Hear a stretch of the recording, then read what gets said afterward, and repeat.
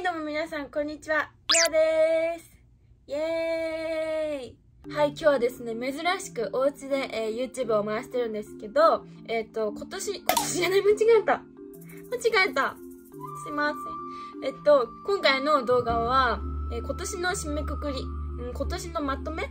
まあ、これが多分出る動画が多分今年最後の動画になると思うんですけど、今年1年、やっぱね、楽しいことも辛いこともいろいろあった1年だったので、その1年を振り返りつつ、振り返っていこうの企画です。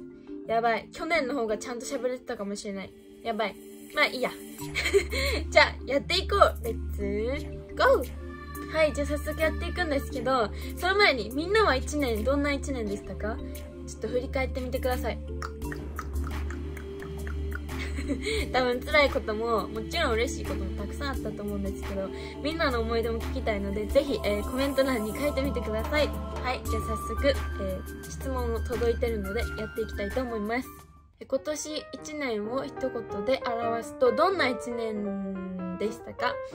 はい一言で表すと多分去年と変わらんなここ。は山あり谷ありです。やっぱこの1年むっちゃいいこともあれば。むっちゃ最悪なこともあってやっぱそうですね。去年と変わらず山あり谷ありを選びます、えー今年あなたが最も幸せに感じたこと。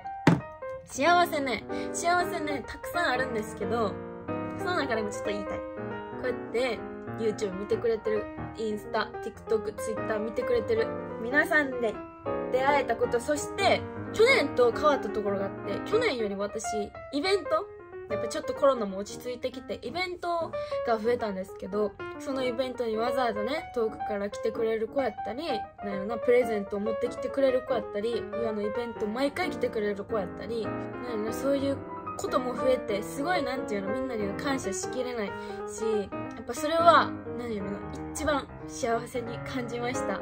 去年できひんかったことがやっとできてこうね直接会え会えて本当に改めて幸せやなっていう風に感じました。で他にもね家族とかの幸せとかもあるんですけどやっぱそれはみんなに伝えたいです。最高！最高！ズッキュンズッキュンズッキュンズッキュン！はいありがとうございます。また来年もねたくさんみんなやる機会を作れるように頑張るのでその時はぜひえまあ会いに来てくれるともう嬉しいかな。はいじゃあ次ね。今年最も悲しかったこと。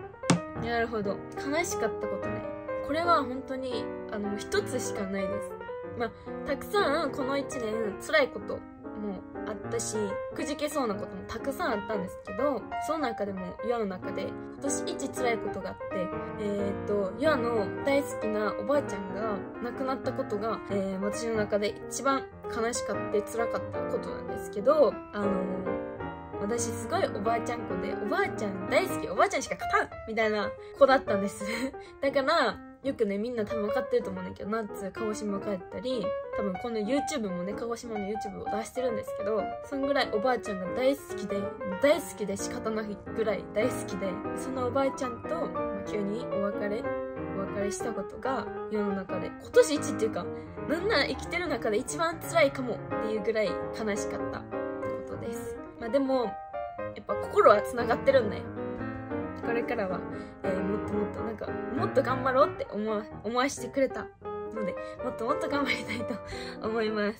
そうだからなんか今年ねみんなに心配されたんですよ。それでインスタとか SNS をちょっと離れる期間があってそれでみんなが心配してくれたんですけどあのもう前に進んで頑張りますのでついてきてください。はい。次。今年出会った本役立った本印象に残った本。本本か。ごめんなさい。私本読まないです。すいません。私本読まないんですあんまり。雑誌とかは見るけど小説とかあんま見やんねんな。すいません。私ごめんなさい。来年は本読みます。はい、えー、今年あなたが一番ありがとうを伝えたい人。一番がさいっぱい読んねんけどいいかな。家族、おばあちゃんおじいちゃんいとこもちろんファンのみんなあとはお世話になった人とか、まあ、撮影現場でお世話になった人とか関わった人みんなにありがとうって伝えたいです。え改めてありがとうって言わせてください。えー、まずいつも応援してくれてるみんなほんまにありがとう。大好き。そ そしてまあ家族がね今まで携わってくれた人もありがとうございます。こねこね。次。今年一番達成感を感じたことは何ですか？達成感。正直ごめんなさい。ないです。達成感を得たことはないです。この1年。なるな。全部中途半端って感じ。なんかそれこそまあじゃあ分かりやすく言えばインスタの目標人数が20万人様ですってずっと言ってたんやけどそれも達成できずあの YouTube も言わね10万人のあの盾が欲しいんです。でもそれも達成できず。まあ来年はねそういうこと達成できたらなって思います。今年やりたかったけどできなかったことは何やろな。それこそそれこそ待てよ。あやばい。パジャマのバレる上の毛超いい服着てたんバレる。見てみんな。下だるぎ。私やりたかったけどできなかったこと。な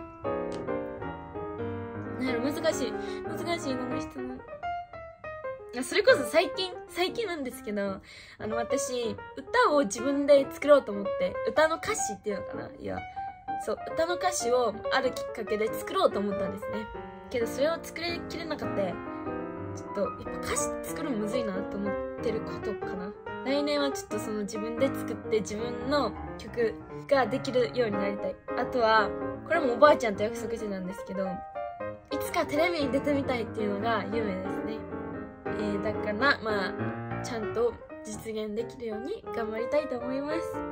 こんなもんかな？質問は。質問はこんなもん。まあ、でもそんな感じですね。本当に1年、今からしたらすっごいあっという間で、楽しいことも辛いこともたくさんあったんですけど、まあこの1年ね、や、やり遂げたって感じです。はい。はい。なんかさ、一人でさ、YouTube 撮ることないから、めずいよな、しかもさ、見て。なんでさ、今年終わるっちゅうのにさ、こんなとこにニキビが何しに来たんって話よな。取れへんのかなはい。ということでですね、本当にこの1年、みんなにもお世話になりました。来年もお世話してください。お願いします。YouTube もね、これからもまだ続けていくので 来年も引き続き、えー、見てくれると嬉しいです。あ、そうだ、絶対ね、みんなに言われると思う。マイトくんのことは、あの、1年記念の動画でたくさん話してる。話してどっちが先に上がるんだ？あ、1年記念のが先に上がるか。と思うので、ここではちょっとのろけないでおきます。はい。本当にこの1年で出会ってくれた方。やばいやばい、10年切れるって言われた。この出会ってくれた方もありがとうございました。また来年も引き続き、えー、上の振りをよろしくお願いします。えー、来年は、まあ、多分来年また撮ると思うんだけど動画。来年は新たなことに挑戦したいと思います。ぜひ応援よろしくお願いします。じゃあ皆さんまた次の動画でお会いしましょう。次はなんだ ?2024 かな？また、それまでバイバイみんなまた会おうねネル登録と高評価もコメントもお待ちしております。バイバイ